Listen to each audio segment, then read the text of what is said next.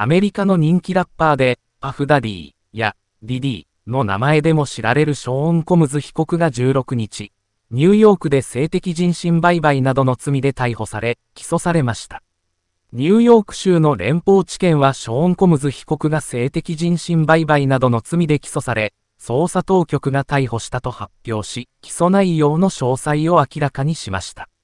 コムズ被告は無罪を主張していますが、検察は逃亡のリスクが非常に高い、として裁判までの勾留を求めています。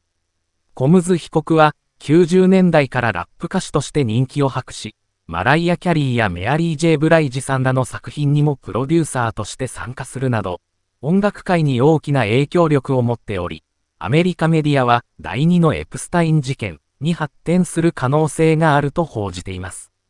検察が発表した起訴内容は以下の通り。コムズ被告は、女性の被害者に対し複数の男性の売春夫らと行う長時間の性的パフォーマンスに参加するよう強要、脅迫した。その行為は数日間続くこともあり、様々な麻薬が使用された。コムズ被告は被害者の動画を撮り、被害者を脅迫するのに利用した。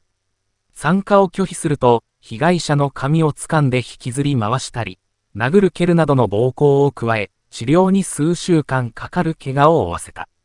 家宅捜索で、大容量の銃器や弾薬、性行為に使用されたベビーオイルや潤滑剤1000本以上が押収された。